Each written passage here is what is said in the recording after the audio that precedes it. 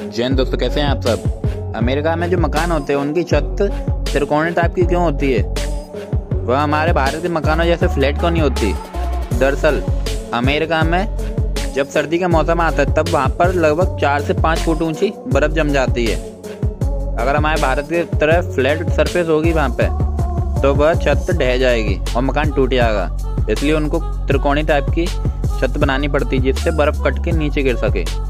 और इससे घर का लुक भी बदल जाता है। अगर आपको फैक्ट अच्छी लगे, चैनल को सब्सक्राइब और फॉलो ज़रूर कर लेना।